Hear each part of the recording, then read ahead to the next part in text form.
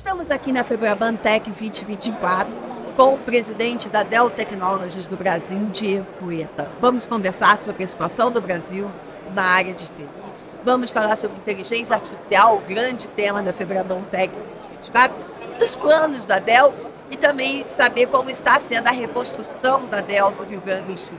Diego, antes de mais nada, obrigada por você estar dando essa entrevista queria falar um pouco do momento da inteligência artificial e da IA generativa, que é tão estratégico para a Dell. Aqui no, discutiu isso em quase todos os painéis.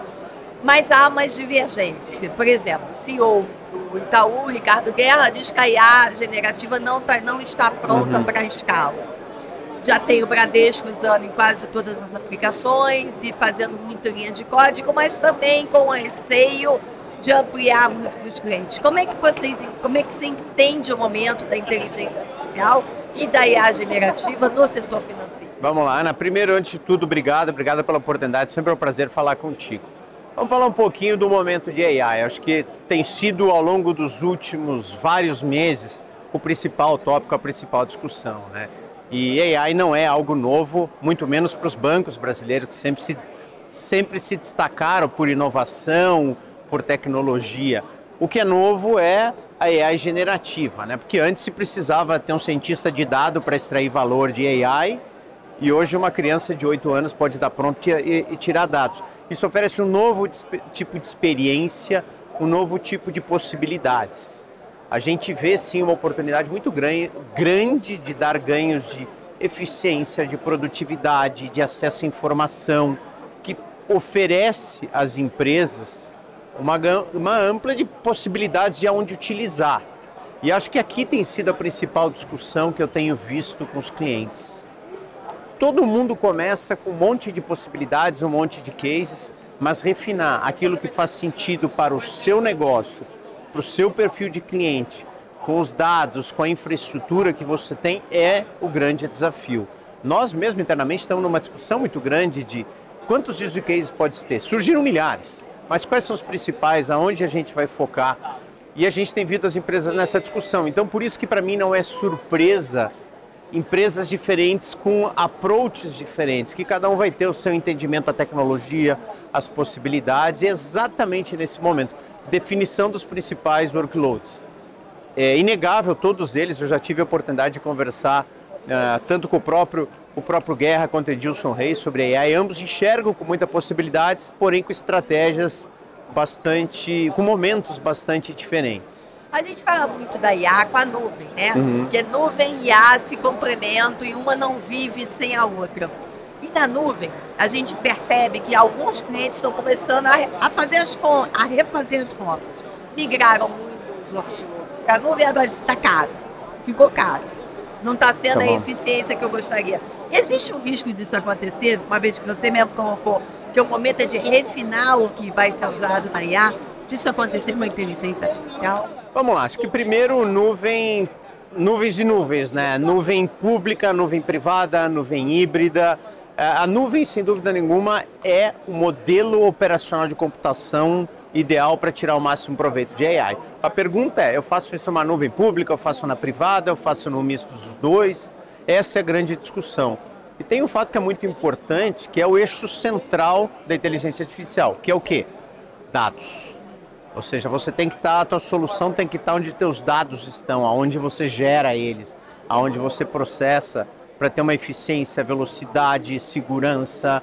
Então a gente acredita sim que as, os principais workloads de inteligência artificial eles vão performar mais e vão atender uma tendência de ter eles cada vez mais próximo da empresa. Ou seja, então eu vejo ah, principalmente as nuvens privadas tendo um destaque não apenas pelo custo, que é um componente importante, ou seja, existe uma diferença grande, mas também por segurança dos seus dados, soberania, tratamento dos dados, você tá, então eu vejo os clientes com uma preocupação muito grande nessa direção. De novo, nuvem o, o, é, modelo computacional, mas a gente acredita que a nuvem privada tem uma vantagem sim para a gente poder melhor atender os clientes em, na, em AI.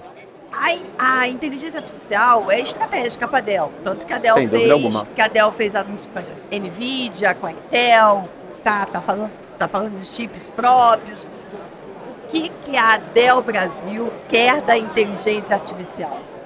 Vamos lá. AI, como eu comentei, tem um grande principal componente, que são os dados. Os dados é o centro de tudo. Não adianta ter você a melhor tecnologia, a melhor infraestrutura com dados que não são bons ou não conseguindo coletar. E não se esqueça, né? Você sabe bem disso, né? A Dell é o líder no armazenamento, gerenciamento, proteção, segurança de dados no mercado faz muito tempo. E a gente enxerga o momento de AI como uma, como uma oportunidade enorme para a gente continuar explorando o nosso potencial junto dos nossos parceiros. Você citou a NVIDIA, que tem se destacado tanto, a Intel, a AMD, própria Microsoft com as soluções. A gente está muito próximo deles todos para que, em conjunto, a gente possa auxiliar os nossos clientes na jornada de preparação para a sua jornada de AI.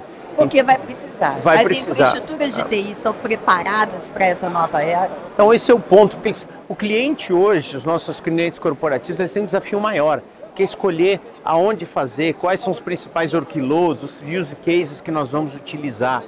A gente não quer que os nossos clientes gastem tempo pensando na sua infraestrutura, nem entre numa jornada que vai ser extremamente onerosa e, e inviabilize seu caso. Então, por isso que a gente tem desenvolvido, anunciou há pouco, você estava lá também, a gente anunciou o AI Factor, que nada mais é do que uma estrutura simplificada para oferecer para os clientes toda a plataforma que eles necessitam para rodar seus workloads de AI.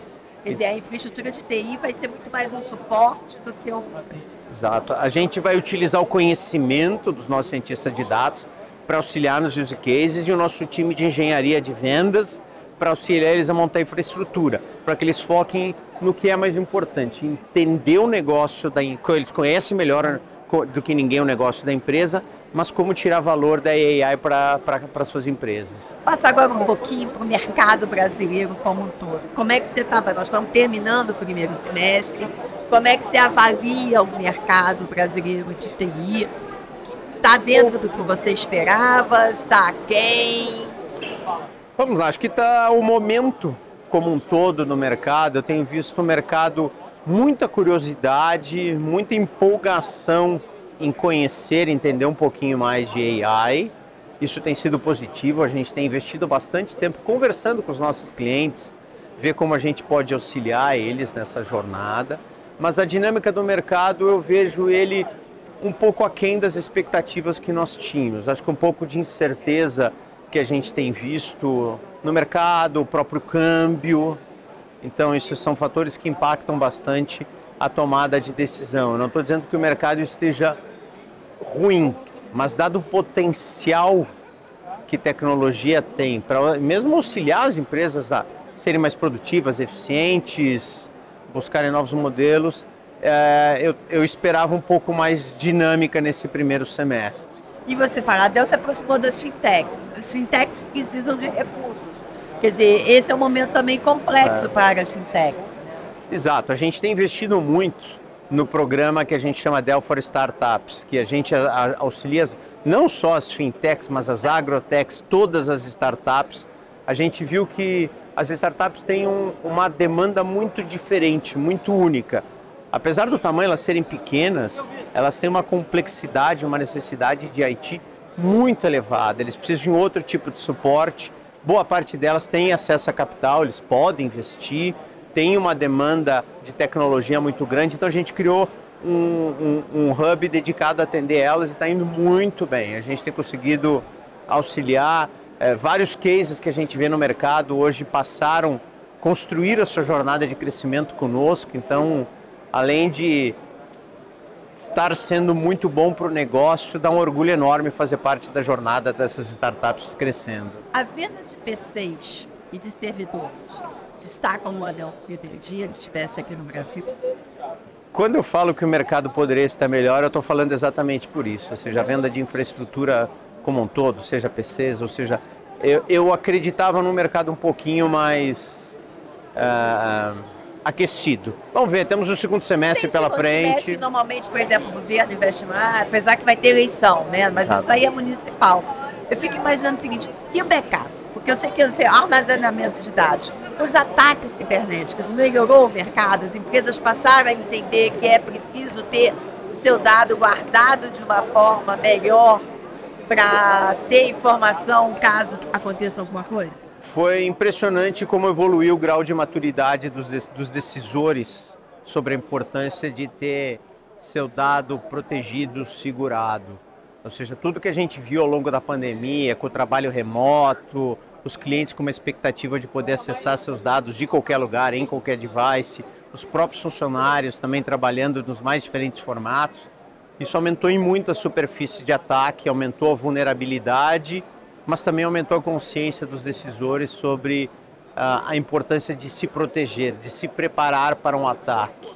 Então, esse tem sido uma das áreas que é onde o nosso negócio mais cresceu. Bom, agora eu vou falar de um assunto muito delicado, mas eu acho que é necessário a gente falar. A Dell teve a sua primeira fábrica no Brasil, no Sul, Eldorado Sul. A Dell, a Dell transferiu a fábrica para Hortolândia, mas manteve né, o escritório, tem mais de 3 mil funcionários em Eldorado do Sul, e a gente teve a calamidade. Exato. Como é que a Dell está reagindo a isso? Como é que foi para a Dell enfrentar essa, não só como vítima própria, mas também ajudando a cidade de Eldorado do Sul? É, foi de fato uma tragédia de dimensões difícil, difícil de calcular o que aconteceu no Rio Grande do Sul. Eu, pessoalmente, como gaúcho, é, fui um dos primeiros a visitar a unidade, antes quando era um antigo prédio abandonado de uma gráfica que se transformou a nossa sede lá em Eldorado do Sul, viu nossa fábrica, viu o plano de expansão, tem o centro de desenvolvimento, mais de 3 mil funcionários, é onde tem nosso call center de vendas, tech support. Eu diria que é o, é o a, a Hortolândia é o motor da nossa fábrica e, e Eldorado é o coração, é onde é, é pulsante, tem uma energia enorme e ver não só o nossas, a nossa unidade, que foi impactada, ou seja, os nossos prédios acabaram sendo impactados, mas principalmente o impacto no entorno, na comunidade, no estado. É, foi muito triste. É, felizmente, a nossa operação não foi impactada, porque a gente já tem uma dinâmica de trabalho remoto, rapidamente se organizou é, para que as pessoas pudessem continuar com as suas atividades, trabalhando onde quer que fossem. Para quê? Para que a gente pudesse, primeiro, continuar atendendo os nossos clientes que precisavam de tecnologia cada vez mais. E segundo, para que a gente pudesse focar nos nossos colaboradores que foram atingidos. Foram mais de 200 colaboradores severamente impactados pela pandemia. É, foi impressionante ver como o nosso time interno, como a Dell Global, é, rapidamente se alinhou para ajudar esse time. Na, dois dias depois da, da do, do, auge do impacto, já tinha uma série de ações é, em place para auxiliá-los o time já estava suportando é, das mais diferentes formas, inclusive quase o nosso própria unidade de Eldorado é, hospedou pessoas que não tinham para onde ir, funcionários da Dell que não tinham. Então, foi um sentimento de colaboração e ajuda único, que mostra muito dos valores da empresa, como a gente preza pelo funcionário, ajudar o nosso time. Então, a gente, o primeiro foco, ajudar os nossos team members impactados. E agora? O segundo foco, ou seja, como é que a gente garante a continuidade da operação? Agora a gente está recuperando, ou seja, nosso prédio já está operacional de novo, os, os, nossos funcionários já estão trabalhando de, de Eldorado do Sul. Agora a gente está focado numa jornada junto com o governo do estado do Rio Grande do Sul, com a prefeitura de Eldorado, para ver como a gente pode colaborar através da tecnologia com a reconstrução de tudo aquilo que foi impactado. Então, a gente tem, vai precisar, nós estamos é, diretamente envolvidos. Eu pessoalmente tenho falado bastante com o próprio, tive com o governador na semana passada, falando sobre como a gente pode ajudar. Estivemos com o prefeito de Eldorado do Sul, temos um grupo de empresários locais muito ativos, é, dispostos a ajudar a, a prefeitura de Eldorado do Sul. Eldorado do Sul foi proporcionalmente um dos dois ou três municípios mais impactados em todo o estado. E a nossa casa é onde a Dell começou a operação e a gente vai ajudá-los para que juntos a gente possa reconstruir e voltar a ser aquele ambiente que sempre foi lá no nosso estado. Diego, queria agradecer a sua entrevista, muito obrigada. E aqui termina mais um CDcast na Febrabantec 2024. Até mais.